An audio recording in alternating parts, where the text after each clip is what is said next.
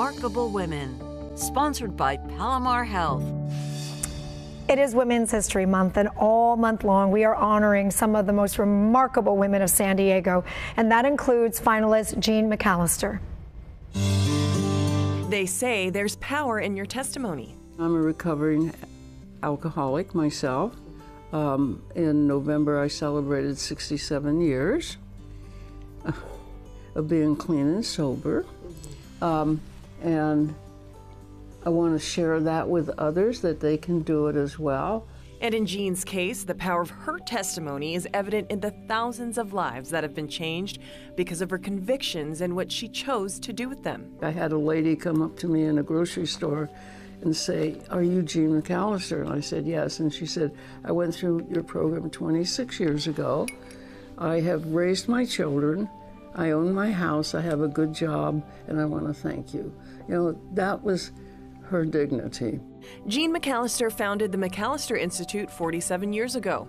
It provides substance abuse treatment and education to those who want to be freed from the strongholds of drugs and alcohol. And more than that, she wanted to offer those who struggle with substance abuse compassion. I also want people to know that it's not their fault, that, that you never know that, that you're going to be an addict until you take a drug or take a drink. Jeanne was nominated and ultimately chosen as a finalist for San Diego's Remarkable Women. The McAlister Institute helps approximately 20,000 people each year, and yet she still finds room for humility, a truly commendable quality. Well, I feel very honored, but I also feel that, you know, there's so many deserving people. Christina Denciel, Fox 5 News.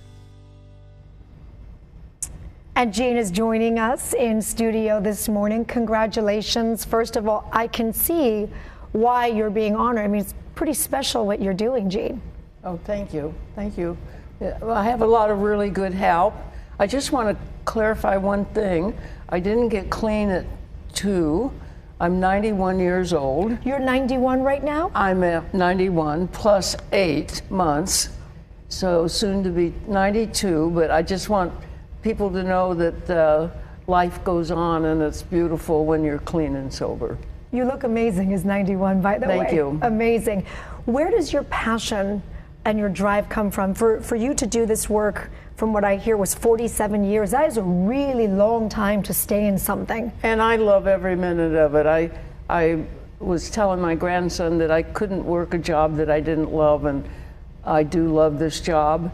And um, even though I know that I'll be stepping down, I will still continue to carry the message that recovery works, that you can do it, that, um, that this is a, a, good way to live, uh, and that you can come out of the darkness.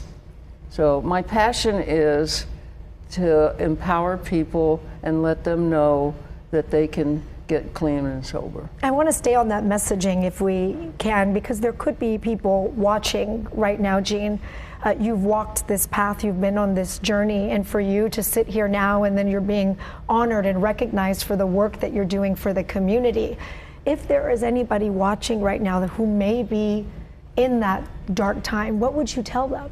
I would tell them to give me a call. And my number is 619 987 6393. I do accept the calls and I can help. So uh, people have used that number. I go to bed at 11 and I wake up at 6. So anytime between those hours, you can call and, and you'll get an answer.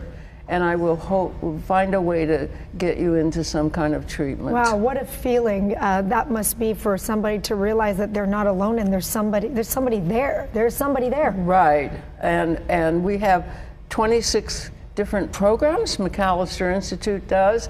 We have detox, so we have kind of from the beginning to the to the uh, beginning of a new journey for each person. Uh, you have children and great grandchildren. Beg your pardon? You have children and great grandchildren.